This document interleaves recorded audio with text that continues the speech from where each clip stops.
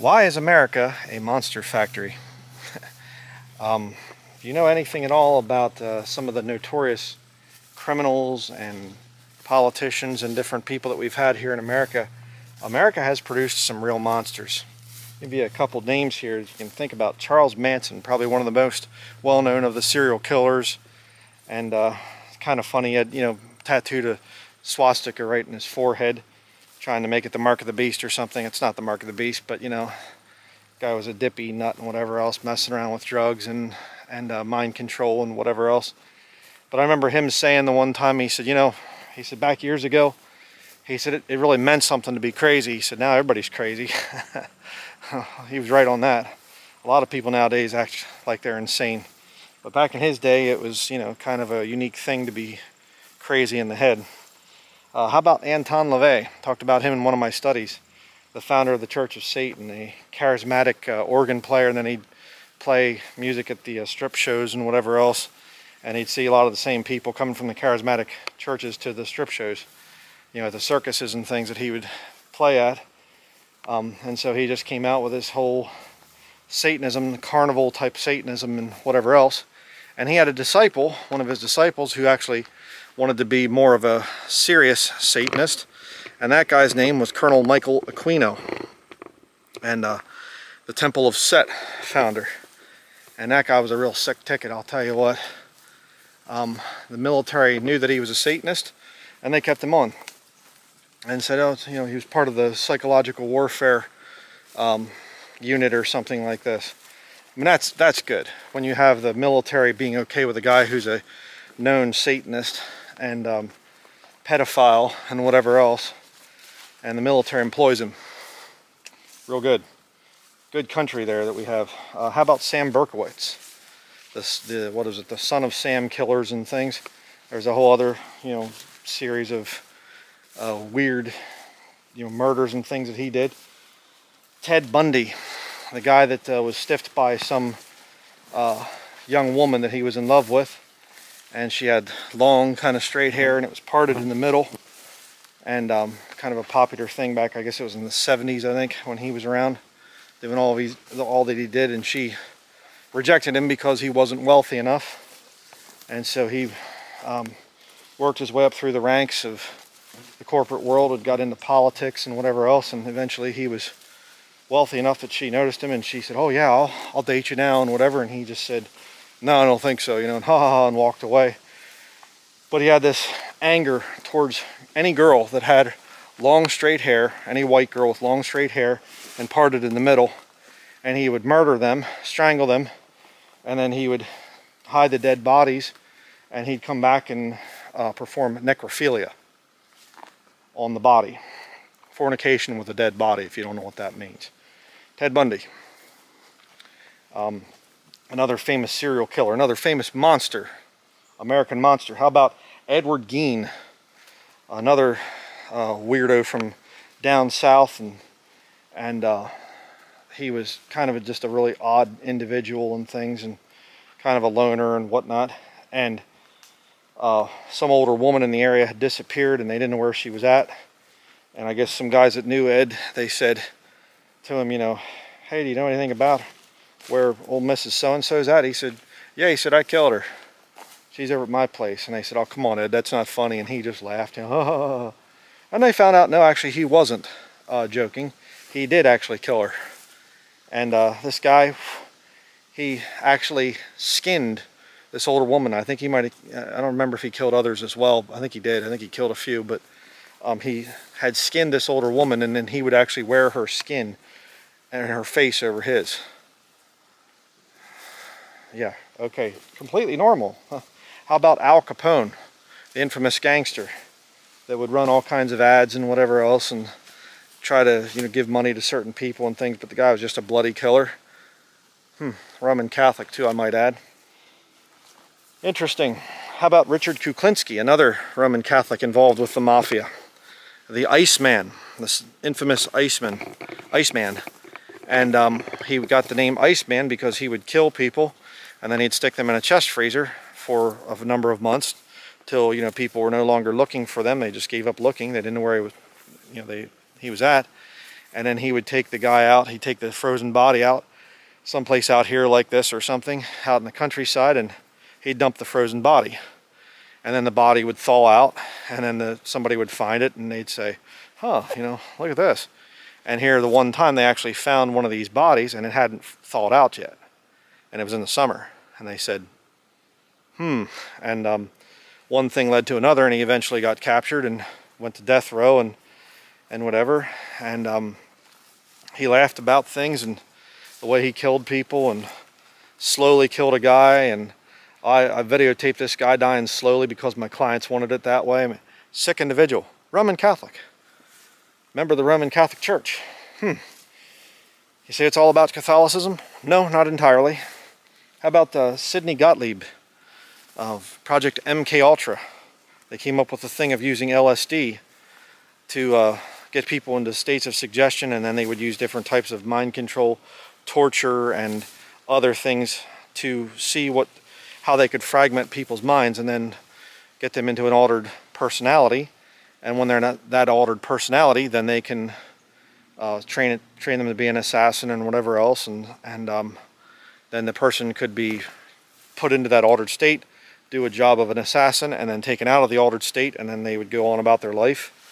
You know, the, they called it the Manchurian Candidate, and um, and they declassified that. That was real, and Sidney Gottlieb was one of the scientists that was involved in it. Another monster. And um, how about Lon Horiuchi? So I'm not just going to kick, kick the uh, serial killers, I'll kick some of the government goons as well. Lon Horiuchi that was there at the Waco situation and he was killing some of the people, some of the Branch Davidians uh, with the mind-controlled guy there, uh, David Koresh, that thought that he was Jesus Christ. He thought that he was the Lamb of God that was worthy to open the seals. and he got a revelation from God that all the members of his church were supposed to, the men were supposed to give their wives to David Koresh to raise up a holy seed. And a lot of the men left and some stayed and actually went along with what he was saying. Um, another monster. But uh, Lon Horiuchi was out there, government sniper, and he uh, was killing Branch Davidians, and then he ended up going to uh, Ruby Ridge where he killed um, Vicki Weaver, and Sam Harris, I think he shot through him and whatever else.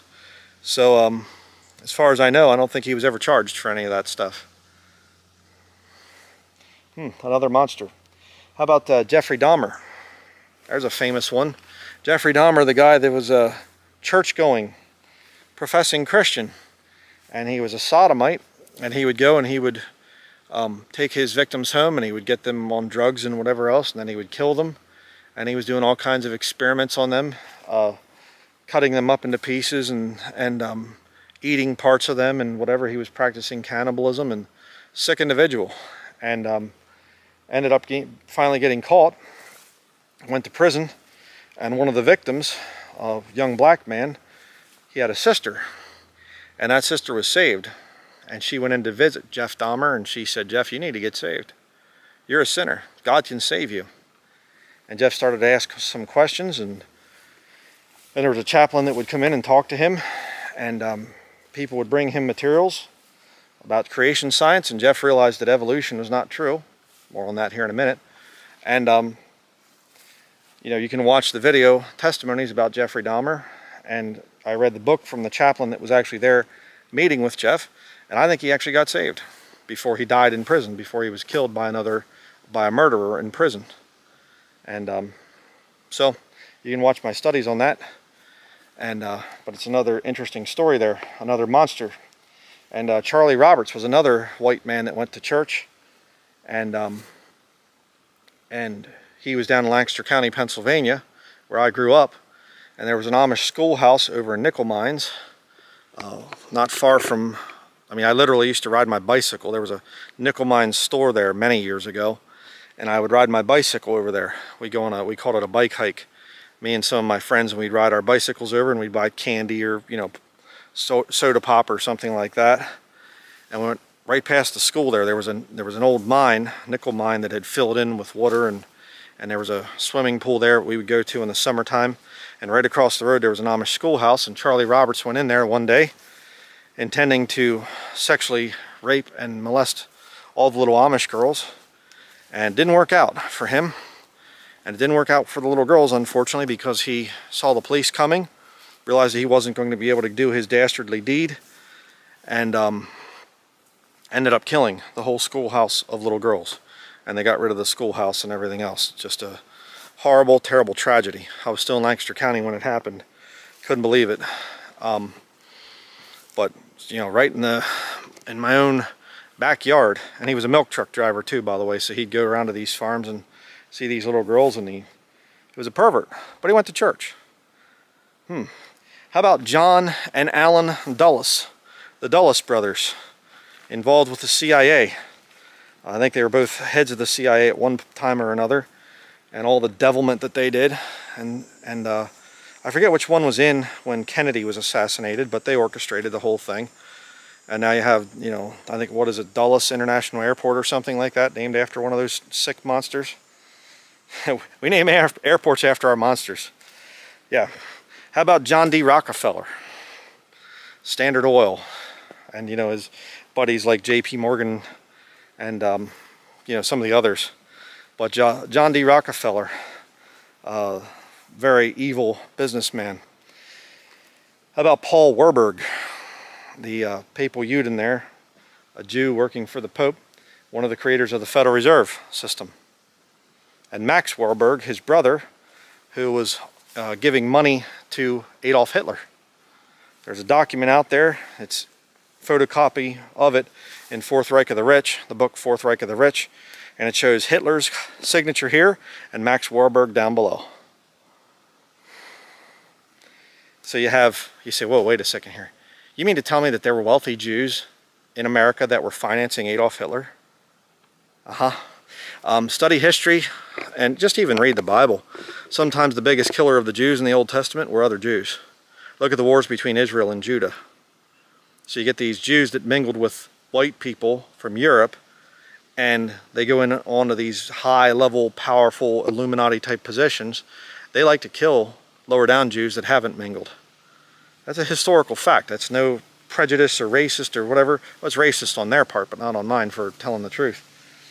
But um, how about Charles Darwin? Talked about evolution earlier. How about old Charlie Darwin there?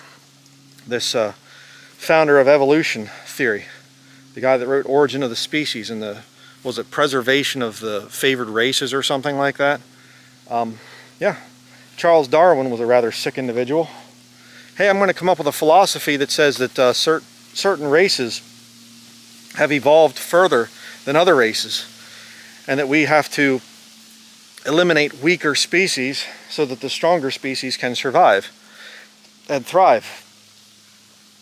And uh, it's one of the philosophies of Nazi Germany that they had. Yeah. Oh, he's not a he's not a monster. He's a hero we can name universities after him, or maybe not a university, but some kind of university hall or a library, or, you know, we'll name things after him too, because he's a good monster. We love his theory that says all this stuff around you, all these plants, all these uh, flowers and things that you're seeing behind me here, this is all just came about as a random chance. It's all just by accident. There is no God.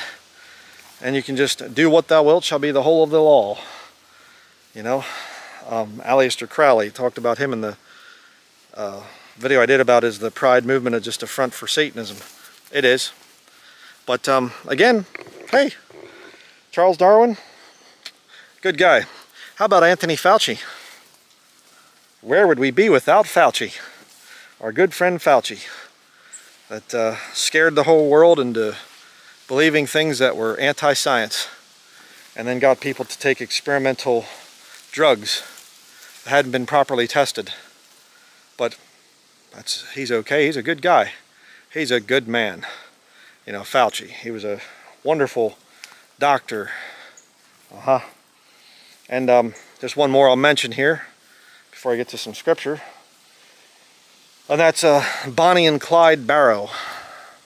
Uh, I don't think her last name was Barrow. I don't think she took his name, but um, Bonnie and Clyde, the infamous gangsters and you can get into Bugsy Siegel and you can get into all these all these monsters.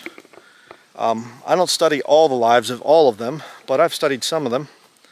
And um, it amazes me uh, just how many of these people are in America. Just crazy. Show you some really beautiful flowers here. If you can see these little ones down here, the sun's kind of a little bright right now. Let me go down this way. But um, I take joy in the flowers and the creation, the flora and fauna that God has created. As you can see, it's called a spotted touch-me-not. Oops, I just did. I touched it again. Oh, touch me not. Yes, I did. Little joke there. These are the clotheslines we use. But, um, why? Why is the question. Why has America produced so many monsters? What is the formula there? Well, let me get my Bible out. A very good reason for it. We'll go to the book of Luke, um, chapter 12. I'll read you from the scriptures what Jesus Christ has to say about the condition of this world. Luke chapter 12, let me see what verse it was. 45 through 48. Luke chapter 12, verse 45. Lord's talking about different servants here. But if that servant say in his heart, My Lord delayeth his coming, and shall begin to beat the men servants and the maidens, and to eat and drink, and to be drunken. Uh, a lot of people do that. Oh, the Lord's not coming back. They, they've gotten away from the gotten away from the thing of believing in the Jesus Christ coming back he's delaying his coming. Uh, maybe there isn't a God, and you get into all this atheism and everything else, like America has because of evolution philosophy. I don't even know if there is a God. Maybe it all just came about as, as a random chance. Everything out here is just a random chance, a slow process of billions of years of death. Good philosophy to have. Verse 46 The Lord of that servant will come in a day when he looketh not for him, and at an hour when he is not aware, and will cut him in sunder, and will appoint him his portion with the unbelievers. And that servant, which knew his Lord's will, and prepared not himself, neither did according to his will, shall be beaten with many stripes. Verse 48 But he that knew not and did commit things worthy of stripes shall be beaten with few stripes. Here it is. For unto whomsoever much is given, of him shall be much required, and to whom men have committed much, of him they will ask the more. Unto whomsoever much is given, of him shall, uh, shall be much required. And that's the point of the video. Why has America produced so many monsters? Because Americans have been given so much. We had God's book, the greatest Bible that ever has been printed. Oh, no, they used the uh, Geneva Bible early on. No, they didn't. No, they didn't. You might have had some Puritans that were a little bit stuck in their ways because they're Calvinists, you know, and whatever, and they would use the Geneva Bible, but this is the book. The King James Bible is the book that was used here by the early Americans that settled this country. Um, and I'll be proving that in an upcoming video, the thing of Geneva Bible versus King James Bible. We had God's book and we were a God-fearing, Bible-believing people. Even the Enlightenment people, the you know Benjamin Franklin, Thomas Jefferson, and you know probably George Washington and some of these other guys, even them, they still use this book. Thomas Jefferson, you know, tried to rewrite it and whatever else, but the point I'm trying to make is they respected people that held to the book. They understood, you know, that we're not going to have an atheistic system here. We're going to have a system where we believe and we teach things like religious liberty. That's what this nation was founded on. And we got away from that. And the prosperity that America experienced because of those early Bible believing, God fearing people, that prosperity led to good times. And good times led to apathy. And all of a sudden, you start to have people that are just, life is too easy for them and you have all the conveniences and all the nice things and and all this stuff and they just sit around saying what do we do? Kind of a little bit bored. Hmm. Maybe we should come up with some kind of a weird philosophy or something. And they start to come up with weird philosophies and you start to teach people in school children hey you know what? You came from nothing accidentally at some unknown time in the past and you slowly evolved from goo up to, to an animal and you're just a wise animal. That's all that you are So going out into the world and act like an animal. There is no God. All is well. There is no hell. Um, do what thou wilt shall be the whole of the law. That's why America produced monsters. And I realize there are other monsters in other countries as well. But you know, you would think that uh, a nation that started out so good, that it would kind of continue on and be a great nation. Um, but it got messed up because of that very philosophy, that very foolish philosophy of evolution that led to a thing of just doing whatever you want and life became so easy. Um, I'm raising my son out here, out in the country. I was born and raised in the country myself. I had chores. We had things to do. I wasn't just allowed to sit around idly and, and uh, hey, you know what, just go hang out with your friends. You want to go have fun? Go have fun, man. It's all just about fun. Um, when you have young people that don't have chores and young people that have no purpose or meaning, uh, they turn out to be monsters a lot of times, unless the, by the grace of God, He steps in and, and stops them from becoming monsters. But I've seen it. And a lot of young people, they get into this thing of, you know, what do I do? And I just sit around at my parents' place and whatever. And uh, you need to have a job. Okay? And uh, I worked, I started working at jobs when I was 14 years old. 14. And um, had a full-time job in the summer months. And I worked at the same place up until I graduated high school. And after that, I had different jobs and, and uh, I worked very hard over the years. And it was many years later that I got into ministry. Uh, many years later. So, you know, young young people out there don't say, well, you know, Brother Bryan's this and he doesn't, you know, have a job outside of the home and whatever. Uh, what do you think I do here? um, if you didn't notice that when I was back in the woods over that way, there was a bunch of wooden kind of empty racks. Those are our firewood racks. We just hauled those back this morning. And uh, right there, if you can see the spot right over here where it's kind of some bare dirt and some things around. Get off of me there, ant. That's where it came from. And we hauled it back there this morning and it was a lot of work, very hard, a lot of lifting. And again, it's before breakfast. I haven't had even had anything to eat yet. We have to head to the office. I'm just recording this video quickly. Um, you should have hard things in your life because when you don't, when you don't have to suffer, and you don't have to say, you know, get up early in the morning and go to bed early at night, and you get up and you work and you're sweating and whatever else, um, you're going to get your flesh to the point where it's raised up and you start to get really evil. Um, that's why I recommend uh, working hard in life. I recommend that. It's very important. And I'll tell you right now, if you think it's uh, just a thing of, oh, I just I can't move out there or you start making excuses and whatever else. Um, anybody can get away from the city. Anyone. It takes work. You have to suffer. You know, like living without running water, living without electricity. Uh, say I'm going to work really hard at some job and save up and get a car or a van or something and I'll live in that for a while. There are so many videos out there. You know what? It, it brings me to shame to see so many lost people, particularly new agers, and they're living debt-free, better lives, and they struggle and they suffer. And I see Christians that just sit around complaining. And I'm saying well, well-abled, well-bodied Christians. Okay, I'm not talking if you're in a wheelchair or something like that, or if you're disabled or something.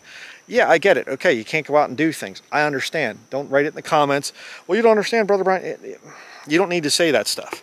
I'm talking about young people. I'm talking about able-bodied people and yet you just stay there and well I just yeah I, I can't I'll I'll just you know I was raised here and I'll die here and whatever else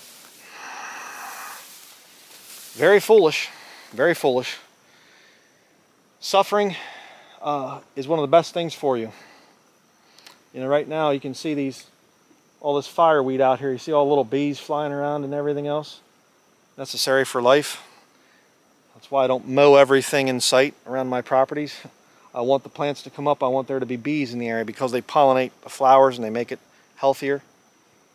But you know what? They have to work. They're working hard.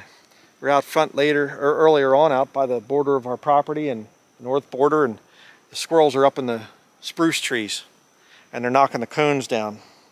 Up there, in fir trees and spruce trees, and they're knocking the cones down to the ground. Why is that? Dry out the cones, get the seeds out, store up for winter. Everything out here has something to do. That's how God intended it to be. Um, and I can't be your, you know, hold your hand and take you through all this stuff. Uh, if you really want to get away from the city and, and uh, from the bad things, I know some of you do, I hear from you. I just want to encourage you and challenge you at the same time. Um, America has a long history of producing monsters because people have it just too easy. Learn how to suffer. Uh, go out and use a outhouse. Uh, go for a while without being able to take a shower. Learn how to take a shower with a, a stand-up shower or whatever with a washcloth and a little jug of water or something like that. Um, suffer. Suffer. It'll make you much better. And you know what, Christian?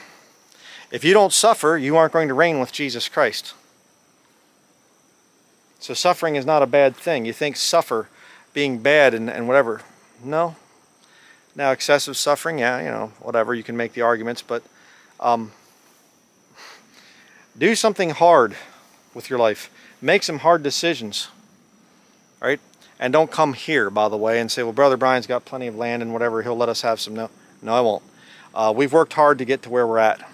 We have suffered. This property literally has my blood. Blood, sweat, and tears on this property. Um, and once you get out and you start doing things, you'll understand exactly what I mean by that. There will be times that you'll cut yourself really badly and you'll, when you're working, doing things, and, and you will bleed and you will sweat and sweat and sweat some more. And there will be times that uh, you'll shed tears because of different things that happen in your life. But you know what? I wouldn't trade any of it for living in town and having everything provided for me. I think that'd be a terrible existence.